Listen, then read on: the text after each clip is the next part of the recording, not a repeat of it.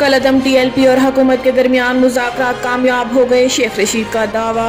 शेख रशीद ने कहा है कि कलदम तंजीम तहरीक लब्बैक पाकिस्तान और हुकूमत के दरमियान मुजाकर कामयाब हो गए हैं। कलदम टीएलपी और हुकूमत के माबेन मुजाकर में मामला काफ़ी हद तक तय पा चुके हैं। टीएलपी के जेर हिरासत अफराद को छोड़ दिया जाएगा और माजी में किए गए माहे के तहत फ्रांसीसी सफारतकार को बेदखल करने के मामला कौमी असम्बली में पेश किया जाएगा। विफाकी वज़ीर मजहबी अमूर नूरुल हक कादरी ने कहा है कि हुकूमत ने मुजाहरीन के तमाम मुतालबात को सुना है। हुकूमत एहतजाजी रैली के मुतालबात पर संजीदगी से गौर और मुशावरत करेगी। मुजाहरीन जहाँ हैं, वहीं पर अमन एहतजाज जारी रखेंगे। धरना पुरमन रहेगा और रास्ते खुले रखे जाएँगे। पुरमन रहने की सूरत में पुलिस और सिक्योरिटी इदारे धरने के खिलाफ कोई कार्रवाई नहीं करेंगे। मुतालबात की मंजूरी के बाद मुजाहरीन पुरमन तौर पर एहतजाज खत्म कर देंगे।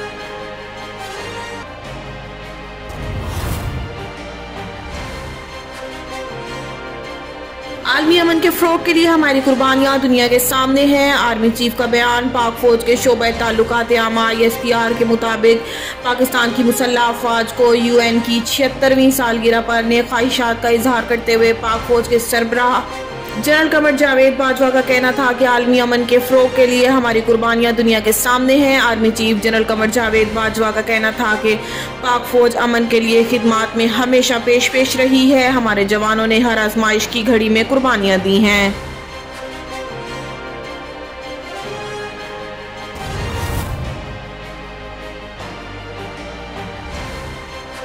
हुकूमत मुआशी तबाही और महँगाई से कौमी सलामती ख़तरे में डालने की मुजरिम है। अपने बयान में शहबाज शरीफ ने कहा है कि पाकिस्तान की मीशत आवाम और मौजूदा हुकूमत में एक को चुनना होगा। इस हुकूमत का एक एक मिनट पाकिस्तान को अरबों डॉलर का नुकसान दे रहा है। महँगाई कंट्रोल करने का ऐलान करके अशिया खुर्दनोश की कीमतें मजीद बढ़ा दें। यह है इस हुकूमत का एहसास और वादा। एक बार फिर मेरी बात सच साबित हुई कि यह हुकूमत आवाम और आई एम एफ़ दोनों को धोखा दे रही है और झूठ बोल रही है। अगर आई एम एफ़ के साथ शराइ तय नहीं हुई मुजाकर आगे नहीं बढ़े तो फिर कीमतों में इजाफा क्यों किया जा रहा है? हुकूमत अवाम और पार्लियामेंट से आई एम एफ़ की शराइ क्यों छुपा रही है? शराइ नहीं माने तो फिर महँगाई क्यों?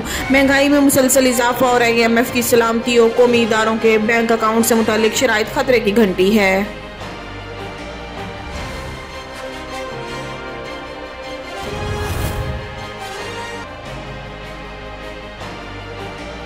अपोजिशन को आवाम का ना एहसास है ना ही मुल्क की परवाह उस्मान बुजदार अपने बयान में वज़ीर अला पंजाब का कहना था कि अपोजिशन की जानब से नाजुक हालात में कौम को तकसीम करने की कोशिश काबिल मजम्मत है। अपोजिशन को आवाम का ना एहसास है, ना ही मुल्क की परवाह। ये अनासर सिर्फ़ पॉइंट स्कोरिंग के लिए कौमी मफादात को दाव पर लगा रहे हैं। अपोजिशन का एहतजाज बेमानी हैसियत रखता है, बदकस्मती से इन अनासर का एजेंडा सिर्फ़ ज़ाती मफादात के गिर्द घूमता है। ये अनासर अपने दौर में भी आवाम से मुखलिस ना थे, ना अब हैं और ना आइंदा होंगे।